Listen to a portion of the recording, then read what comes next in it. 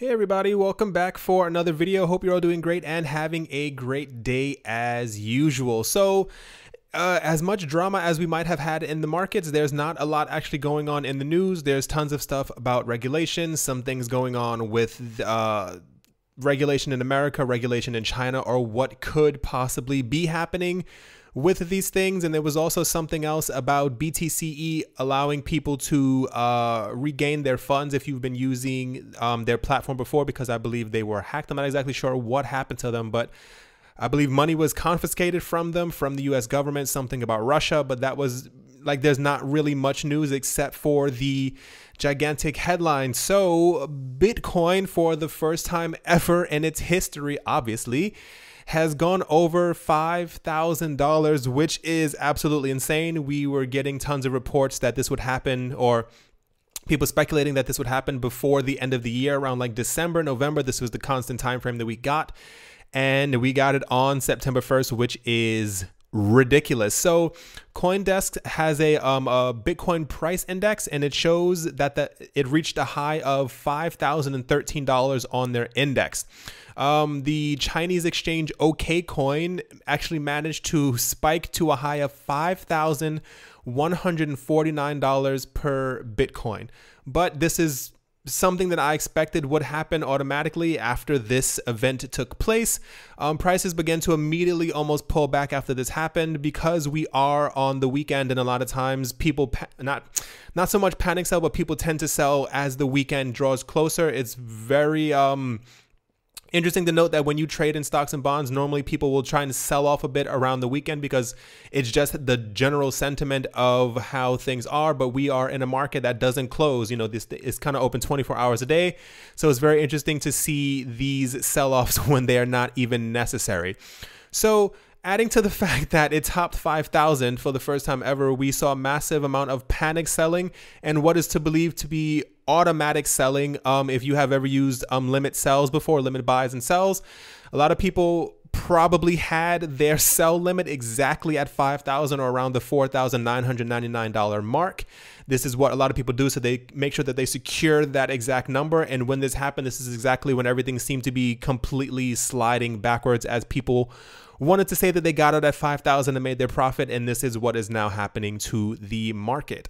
The website cryptocoinsnews.com reports that Litecoin hit an all time high of $91.32, which is insane. I personally believe that Litecoin should be worth a heck of a lot more, especially in comparison to Bitcoin. At least one fourth of the value. This is where I think it should be, but I, it seems like we're slowly going to get there. So is actually Litecoin has doubled in price to where it was just three weeks ago, which is nuts. I've said before many times if you have ever been into traditional market stocks, bonds, mutual funds, what have you, you get around six, seven percent per year, and you know you're pretty. You pat yourself on the back. You say that's pretty great but doubling in three weeks is ridiculous and this is why so many of the traditional markets are now getting into cryptocurrencies because they also want these returns so part of the Litecoin rally is believed to have come from not directly, but you know, he said something from Charlie Lee. He didn't, you know,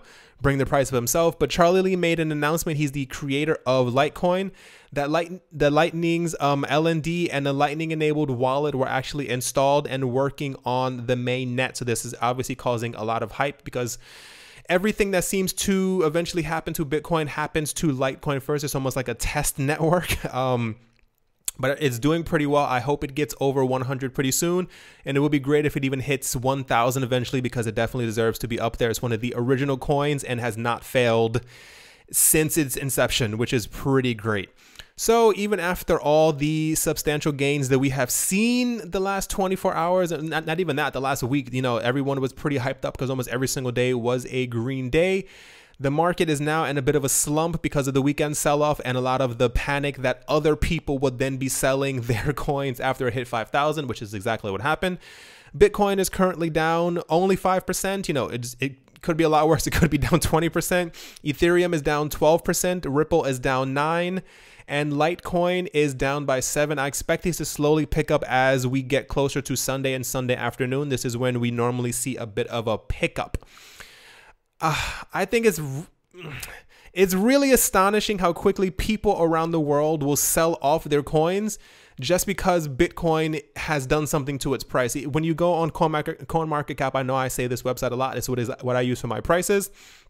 When you look at the charts, especially the seven day chart or the 24 hour charts, and you just look in comparison to see where Bitcoin was and et cetera, et cetera. Once a sell off happens with Bitcoin, every other coin follows it. And it drives me absolutely insane that this happens week after week after week. If Bitcoin gets any type of bad news, not even any other coin, should Ethereum get some type of bad news, other coins will still continue to go up. But the moment Bitcoin gets any bad news, every market follows. It's the, the, the exact thing that's happening on its charts. And it drives me absolutely nuts week after week after week, even if these things aren't correlating or aren't affecting each other in any other way, shape, or form. It is kind of insane.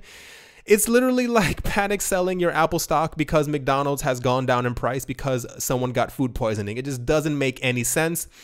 But this is the market that we're in, and this is what we do for a living. But yeah, so that is literally the news for today, guys. Like I said, not much really going on, especially around the weekend times. We tend to have a dry spell when it comes to news, and this is where we are. All right, guys. I hope you guys enjoyed. I hope I hope many of you sold a bit when the prices hit that 5,000 mark. Um, I know I woke up this morning and was quite surprised that everything was completely in the red, especially after all my friends started texting me, asking me what was happening to the markets. all right, guys. I hope you guys have a great weekend as usual. Hope you guys are enjoying wherever you might be, and I will talk to you all soon. See you. Hey everyone, thank you very much again for watching. I hope you guys enjoyed. If you guys would like to help me and the channel, there are ways to do so in the description below. Thank you very much and talk to you guys soon.